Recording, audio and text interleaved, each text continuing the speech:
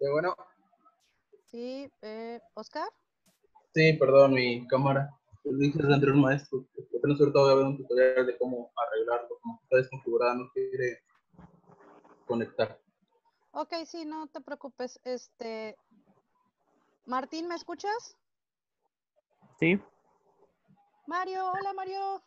Hola maestra, ¿cómo está? Bien, qué gusto verte. Igualmente. Este, todos me escuchan bien, ¿verdad? Sí.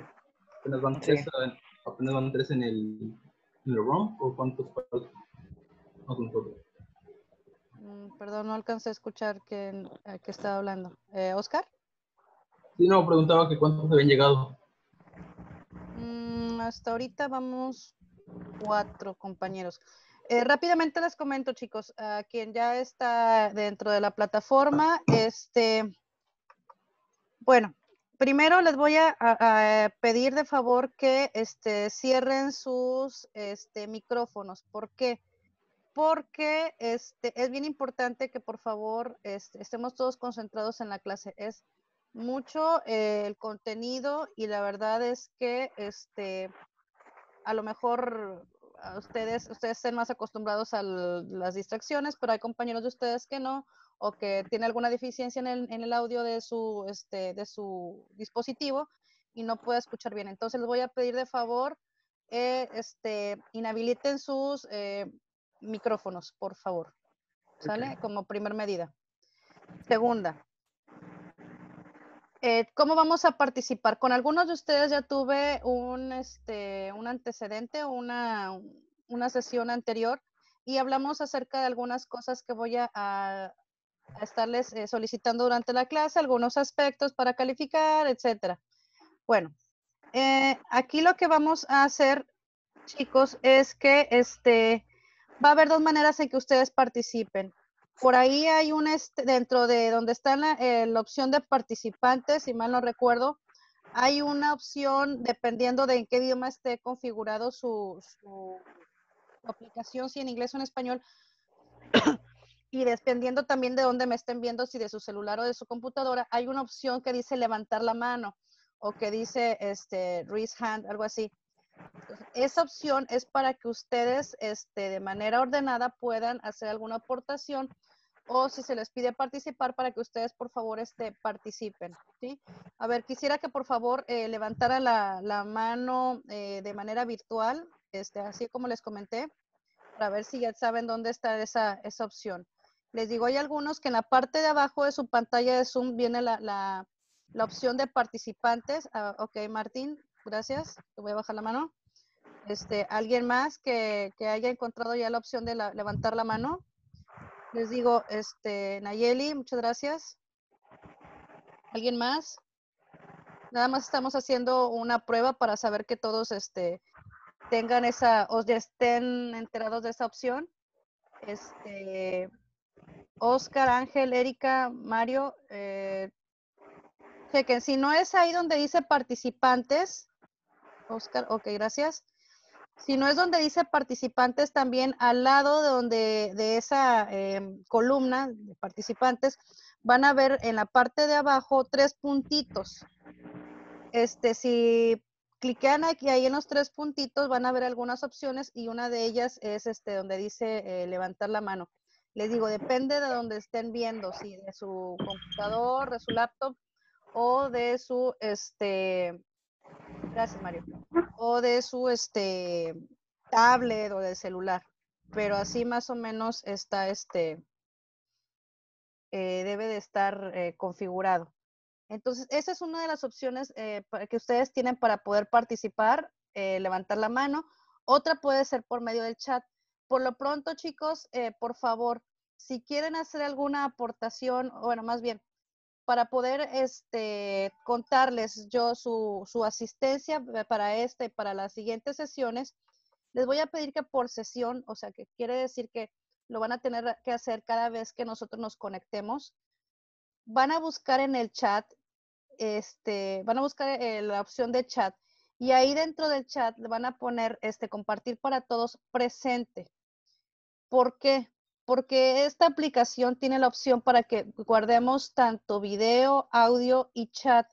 Entonces, con el chat ya grabado yo tengo la opción de saber, y obviamente que ustedes contesten el presente, tengo manera de saber este, quién está ingresando y poder, pues obviamente, contarles la asistencia. Entonces, por favor, todo mundo en este momento váyase al chat y nada más ponga presente para que quede grabado y tomarles en cuenta su asistencia, por favor. Este, a ver.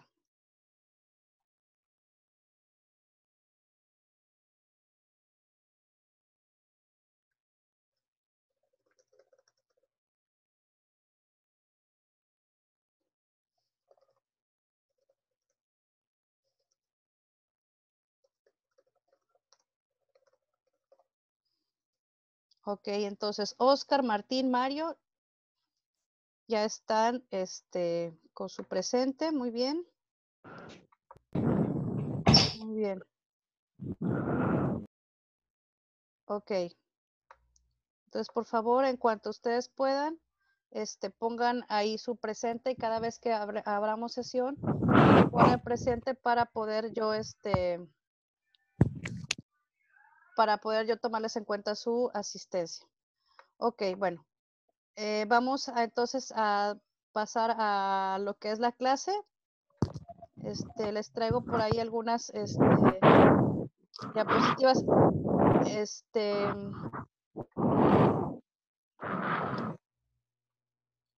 para compartir, por favor, eh, les pido eh, que mantengan su micrófono este, inhabilitado para que no se escuchen ese tipo de, de, esos, porque recuerden que esta sesión queda grabada y que algunos de sus compañeros o inclusive ustedes mismos pueden hacer uso de ella y eh, probablemente no puedan escuchar de la mejor manera por tener sus micrófonos activados, por favor. Muchas gracias. Bueno, eh, la materia que les voy a dar eh, va a ser probabilidad y estadística. Como les digo, eh, hay bastante información y el programa es este, bastante extenso, entonces les voy a pedir este, de su apoyo para poder ver lo más que podamos de este programa. al final, ustedes de la clase, de las dos sesiones del día de hoy, van a poder encontrar tanto esta presentación como un ejercicio este, con valor, obviamente, para su calificación en plataforma Classroom para que ustedes puedan revisarlo posteriormente si así lo desean el material y para que hagan la actividad que se les está encomendando. En el transcurso de la semana, por favor, eso sí tienen que tener este, bien presentes. Eh, entren a lo mejor con que entren una vez al día eh, a la aplicación y puedan ver si hay alguna novedad este, publicada para que no este, se queden sin sus puntuaciones. ¿Por qué? Porque cada actividad tiene eh, tiene un tiempo determinado para estar en plataforma. Por ejemplo, la puedo subir hoy para que ustedes empiecen a contestar y probablemente eh, que tenga un plazo hasta el domingo a las 8 de la mañana, por ejemplo. ¿Sí? Eh, en los exámenes eh, voy, a, voy a ser muy rigurosa con eso, con la cuestión de los tiempos. Nada más se pueden contestar una vez, chicos. Este, entonces, chequen bien qué es lo que les está pidiendo, tanto exámenes como eh, actividades, tareas, para que no haya ningún problema y no se queden a medias con sus trabajos y obviamente con sus eh, puntos correspondientes, ¿sale? Entonces, este material, como les repito, va a estar en su plataforma si no lo alcanzamos a cubrir todo, si tienen alguna duda. Ok, vamos a empezar. Este, vamos a ver si lo vamos a poner en, este, en presentación y sí les voy a tener que pedir de su paciencia porque a veces este, el sistema se nos llega un poquito a, saturar y esto se empieza a poner un poquito lento, pero este, vamos a hacer lo posible porque todo fluya como debe de ser. O inclusive yo creo que mejor así lo dejamos para evitar que este que se nos congestione la red. Por favor, para aquellos que acaban de entrar, este Nelson, me parece, y Moisés, busquen el chat de la aplicación y pongan este presente para que queden eh, grabados sus, este, sus aportaciones en el chat y poder tomarles en cuenta su, este, su asistencia, por favor. disculpe, No la, no la escuché porque tenía bloqueado este, el audio. ¿Qué, ¿Qué es lo que dijo?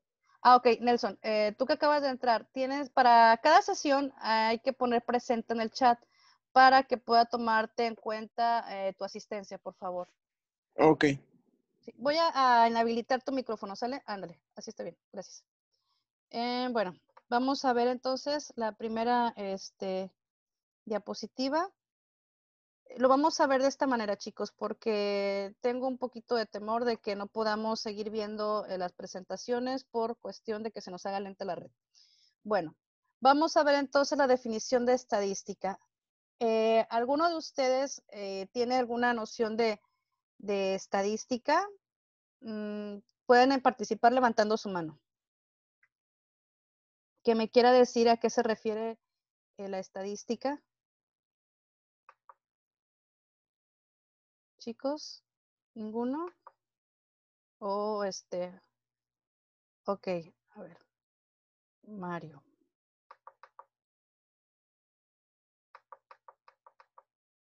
Vámonos pues. A ver, Mario. Entonces, este, dime que, a qué se refiere entonces la, la, la, estadística de acuerdo a lo que tú has, has visto anteriormente. Mm, bueno, más que nada, eh, la estadística para mí es ahora sí que un llevar este un control ya sea en gráficas o, así, este, más que nada para ahora sí que mm, recopilar datos, este, ahora sí que mantenerlos anotados, más que nada para, como, sí, como dice, este, para llevar un control en cuestión de, según, ahora sí que ciertos resultados, como, es, como en el caso del INEGI que utiliza, ahora sí que, este, gráficas, eh, pasteles para recopilar todos los datos y llevar un control de todo lo, toda la información que, pudieron recopilar. Ok, muy bien, muy, muy bien, de hecho, Mario. Muchas gracias. Este, es, es, muy importante lo que acabo de decir, Mario, con respecto a lo que les pregunté. Aquí les tengo en la pantalla la definición, digamos, formal, ¿no? De, nos dice que es la ciencia que se ocupa de recolectar, organizar, presentar, analizar e interpretar datos. ¿Para qué? Bueno, esto nos ayuda a tomar este, decisiones de maneras más eficientes. Eh, lo que menciona Mario es que nosotros tenemos al alcance de nuestras manos un instituto que se dedica a hacer todo ese tipo de trabajo y que lo tenemos inclusive de manera gratuita y al alcance de nuestras manos, que es el INEGI.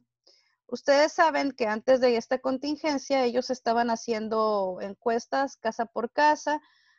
De hecho, son encuestas que se hacen cada 10 años. Si ustedes tienen 20, pues ya les habrá tocado vivirlo en dos ocasiones, y es que en esta ocasión les tocó compartirlo, pero este, con la finalidad de qué?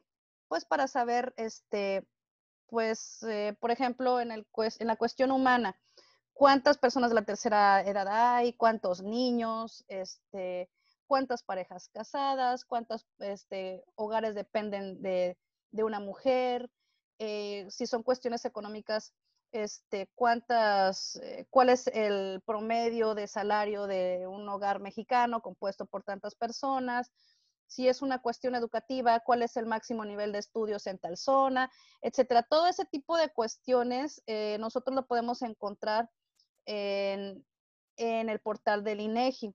Inclusive para aquellos que están pensando en abrir una, este, una microempresa, un negocio, ¿verdad?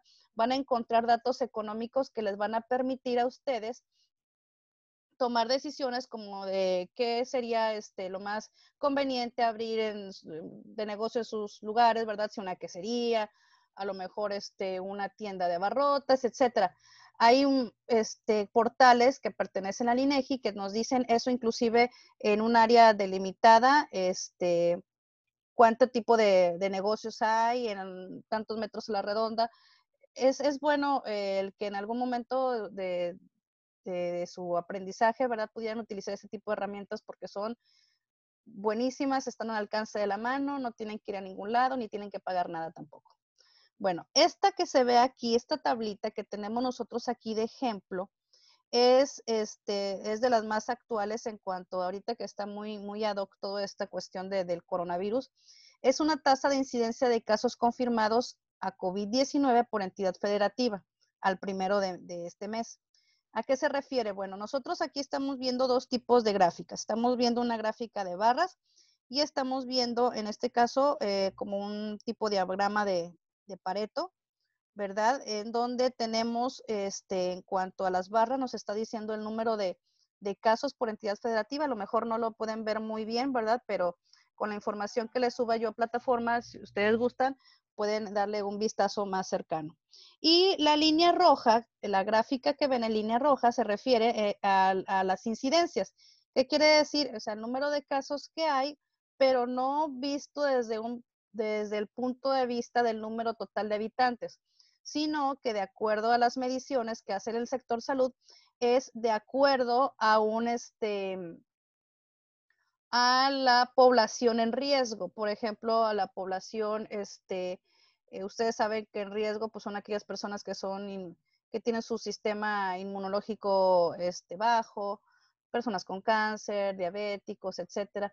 Entonces, todos estos datos, eh, el sistema de salud los tiene y hace una eh, comparación o hace un estudio por medio de un modelo, ¿verdad? Para saber la tasa de incidencia de casos confirmados no están viendo exactamente lo que está pasando, bueno, al menos la cuestión de las gráficas, ¿verdad? Pero sí con esta información pueden hacer ellos una proyección para ver qué estados es el que, digamos, va a tener mayor problema con la cuestión del COVID, de acuerdo a toda la población que tienen, digamos, en riesgo por, por sus características, ¿no? Vamos a ver la siguiente diapositiva. Este, digo, voy a tratar de ser lo más, este, lo más ágil posible. Y como quiera les digo, cualquier cosa, ustedes van a tener oportunidad de ver la este, presentación en línea si así lo desean.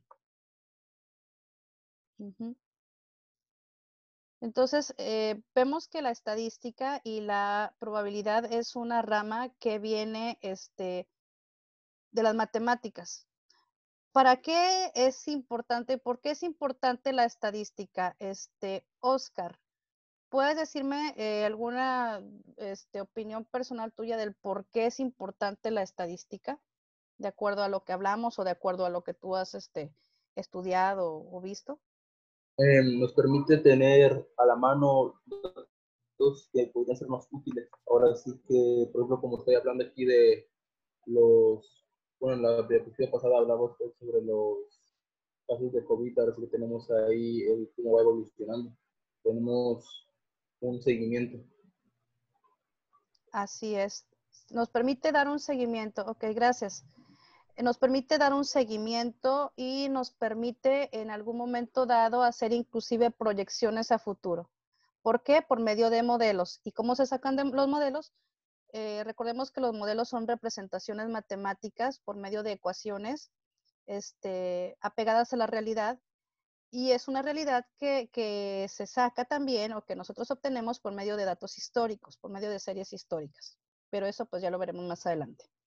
Bien, entonces eh, nos da aquí tres razones. La primera razón que nos da es que en todos lados encontramos información numérica. Eso es un hecho, chicos. Este, quien se metió a la carrera de, comercio pensando que no iba a haber más números en su vida, error.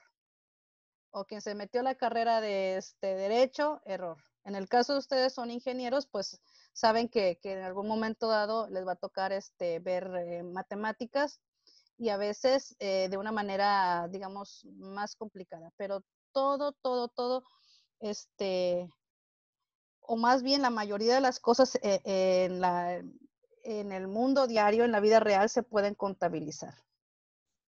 Ahora bien, la segunda razón nos da aquí, nos dice, este, estas técnicas nos o todos estos datos estadísticos nos sirven para tomar decisiones.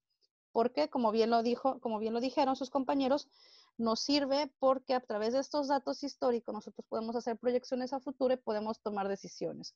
Por ejemplo, Mm, y tomando ahorita en, cuenta toda esta situación que estamos viviendo, si nosotros teníamos a lo mejor pensado que en vacaciones este, de junio, julio, este, queríamos irnos a Veracruz a dar la vuelta un fin de semana o, o cuestiones así, de acuerdo a las eh, proyecciones que hace el sector salud en cuanto al, a, estar este, guardados en casa o a estar confinados en casa, que al parecer pues todavía nos espera por ahí mayo, probablemente hasta junio o julio, de acuerdo a esas proyecciones que los expertos hacen eh, con respecto a estadísticas o a casos que se han presentado en otros países al desarrollo de la enfermedad, nosotros podemos tomar en, cuenta estas recomendaciones que hace el sector salud y pues en lugar de planificar a lo mejor las vacaciones, hacer un gasto innecesario en comprar boletos, tickets de avión o pasajes o qué sé yo, este, o reservaciones, pues eso nos va a ayudar a que si tenemos pensado hacer un viaje o, tomar algunas vacaciones para esos tiempos, pues mejor ni hacerlo. Entonces, en, eh, es, en este caso, esa información que sacamos de estadísticas, que hacen eh, expertos en salud, nos ayudó a tomar una decisión y a no errar en, ella, ¿no? Y la tercera razón, bueno, este, nos ayudan a entender, obviamente, por qué se toman ciertas decisiones y aporta una mejor comprensión respecto a cómo nos afectan las decisiones. Totalmente lo que estamos viviendo, chicos. Eh, recuerden que el efecto que nosotros estamos viviendo eh, empezó desde, desde China. Hace unos días ya los chinos, creo que después de 76 días, este, terminó su, confinamiento en sus hogares, una vez que ya no detectaron casos de, COVID. Al parecer eso fue lo que leí. Entonces, eh, los demás países que ahorita están en proceso de, eh, pues están, digamos, haciendo cálculos. Bueno, si en el lugar de origen de la enfermedad duró 76 días, de acuerdo a cuestiones estadísticas, de acuerdo a datos, de acuerdo a estudios que ya se están este, planificando así que desde cero, ¿verdad? Y tomando en cuenta a lo mejor otras pandemias en la historia, pues probablemente aquí tardemos a lo mejor un poco más. ¿Por qué, chicos? Porque eh, influyen varias este, determinantes. Eh, la población en riesgo. Ustedes saben que este, en China, por ejemplo, no hay tantos obesos como en Estados Unidos o como aquí no hay tanto problema de diabetes probablemente. Entonces, esos son factores que, nos va a ayudar a determinar qué tanto tiempo este, nos vamos a tener que aventarnos de, confinación o inclusive pues eh, estimar eh, la, la, cantidad de personas que pueden verse gravemente afectadas por esto, ¿no? Entonces, todo este tipo de cosas en base a estadísticos, datos históricos, este, a modelos representativos, nos va a ayudar la estadística. Es importante, sí, bien importante. Todo tenemos que, este, inclusive, este, cosas tan comunes como, por ejemplo, vamos al supermercado, ¿no? Este, para quienes se ocupen de hacer las compras, vemos que este, el aceite está en 20 pesos el litro, ¿verdad? Este, históricamente lo hemos visto a lo mejor en 19 pesos o, perdón, en 25, 26 tomamos la decisión de acuerdo a datos eh, históricos, de, de, acuerdo a estadísticas que nosotros como conocedores y conocedoras del tema tenemos y sabemos si vamos a hacer una buena compra o nos esperamos. En el caso de las gasolinas, de igual manera. Ahorita la gasolina está a precios que pues tenían años de no verse, ¿verdad? Entonces pues todo el mundo aprovecha, aunque no tenga dónde salir, ¿verdad? Pero aprovecha a llenar sus tanques de gasolina porque no saben cuándo vaya a subir de repente, ¿verdad? Yo creo que ese de repente ya va a estar muy próximo por la cuestión esta de, las reuniones entre los países este, productores de petróleo. Este, entonces, pues habrá quienes hagan sus, sus, este, tomen sus decisiones en base a esto. ¿Ok? Bueno, en cuanto entonces, vamos a ver el concepto también de inferencia estadística. Eh, la inferencia, chicos, eh, ¿a qué se referirá el término inferir? Este, Ángel, ¿qué te suena que quiera decir el término inferir? Independientemente este, que sea estadístico o no. Ángel. ¿O alguien más que quiera participar? Martín. El término inferir. Erika. Recuerden que también las participaciones cuentan, ¿eh, chicos? Aquí en la plataforma o en clase virtual. ¿Sí? Bueno, a ver, Erika. ¿A qué se referirá entonces el término inferir?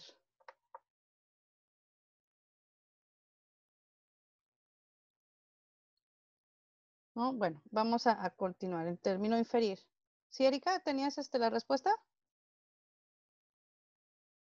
Ok. ¿A qué se refiere el término inferir? Inferir nosotros lo utilizamos cuando eh, nosotros estamos deduciendo algo, ¿sí? En base a cuestiones pasadas, nosotros estamos deduciendo, por ejemplo, la cuestión del precio de la gasolina o la del precio del aceite, ¿no? Estamos deduciendo que a lo mejor si no, este, si de acuerdo a las veces que yo fui a comprar este aceite, lo vi más caro y ahorita lo veo en oferta, estamos deduciendo que probablemente la próxima vez que yo regrese a hacer mis compras lo voy a encontrar del, al precio normal y por eso estoy tomando la decisión de comprarlo, ¿sí? Este, entonces, aquí la inferencia estadística es eso. Sí, nos dice que es el conjunto de métodos y técnicas que permite inducir a partir de información empírica. ¿A qué se refiere lo empírico? Lo empírico se refiere básicamente a cuestiones ya prácticas, ¿sí? A cuestiones ya puestas en la realidad. Ya no son, digamos, teorías, eh, no es nada que esté en papel, sino ya una cuestión ya puesta en práctica. Nos dice, proporcionada por una muestra. ¿Cuál es el comportamiento de determinada población con un riesgo de error medible en términos de probabilidad? Cualquier este, investigación en el caso de la estadística también debemos de tomar en cuenta que no todos los resultados son 100% seguros. Siempre tiene que haber un sesgo, siempre tiene que haber un riesgo de error medible. En estadística todo se tiene que medir hasta los errores. ¿Por qué? Porque probablemente este, la persona eh, durante la encuesta o en el estudio que, estamos, este, que estuvimos haciendo en la muestra no haya entendido bien la pregunta o estaba distraída o realmente no sabía qué contestar o mintió, etcétera. Entonces siempre tiene que haber por ahí un este, sesgo de error, ¿verdad? Este, dentro de cualquier investigación. Entonces, lo que nos dice en pocas palabras la, la inferencia estadística es eso, ¿no? Que es una información que ya está puesta en práctica, que ya hay datos históricos de ello, ¿verdad? Este, proporcionadas a través de una, de una muestra de cómo es el comportamiento de la población, obviamente tomando en cuenta un determinado este, error medible.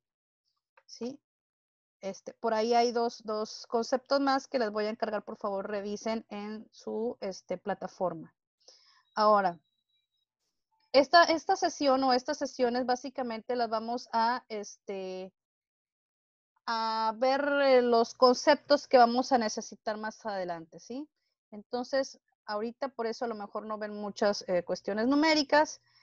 Vamos a ver algunas gráficas, pero todo con la finalidad de que ustedes ya este, puedan eh, leerlo en casa y establecer una relación con, los, con lo que vamos a ver para las siguientes semanas.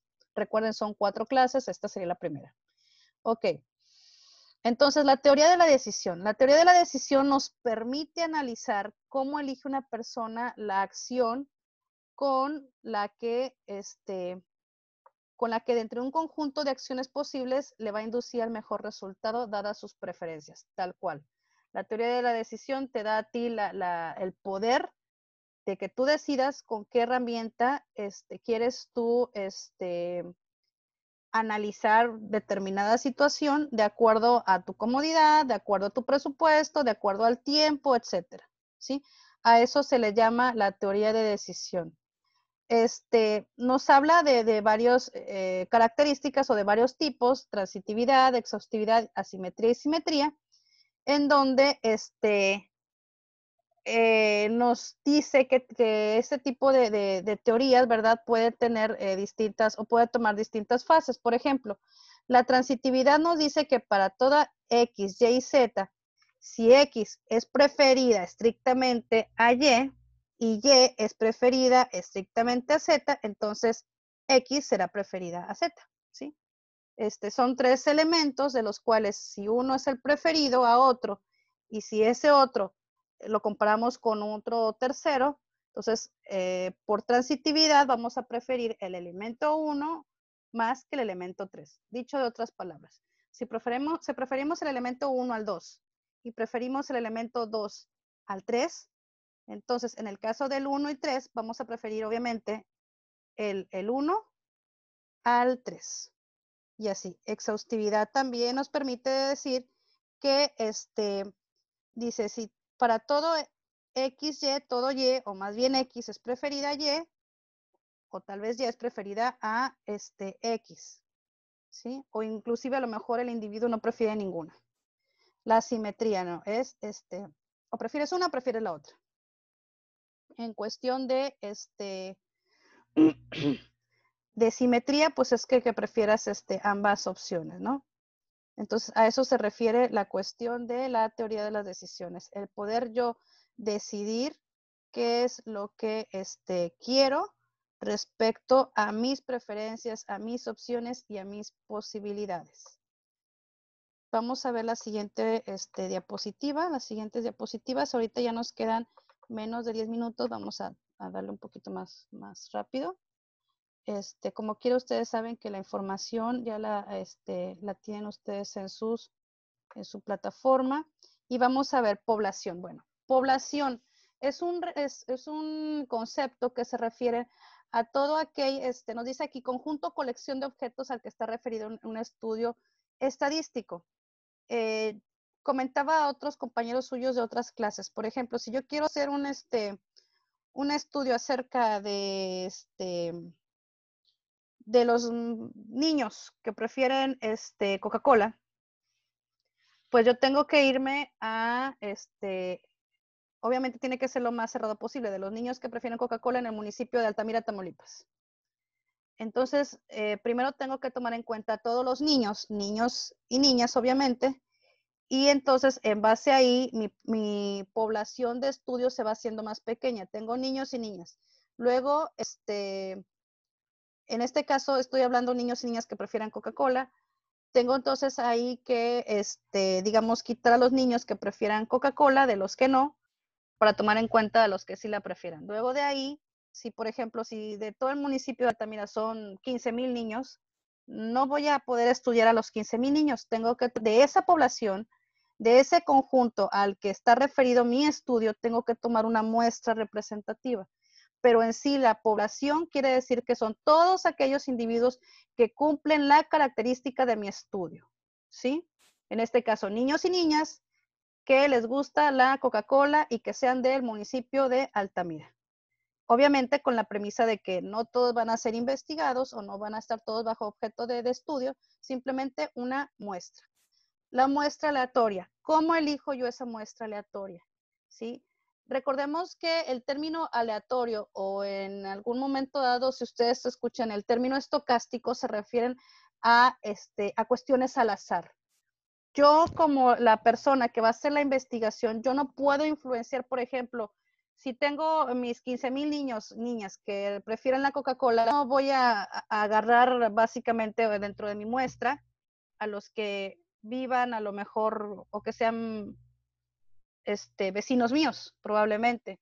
Si, si la muestra sí lo permite, pudiera ser, ¿no? Que yo puedo este, cuenta de acuerdo a mis preferencias.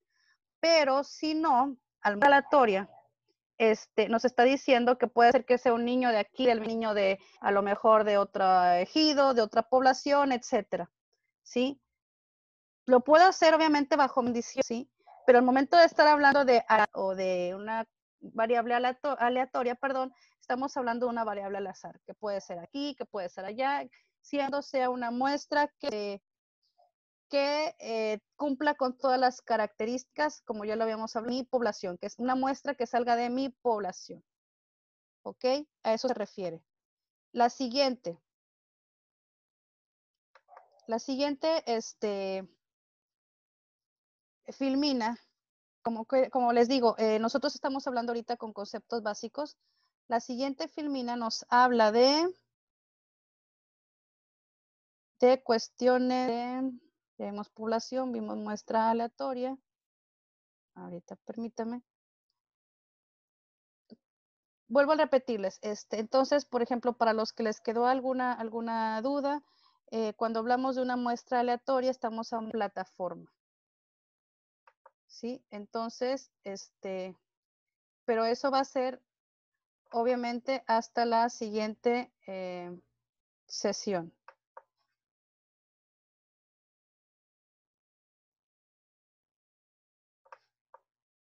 Ok, hasta ahorita, ¿alguno de ustedes tiene alguna duda con respecto a eh,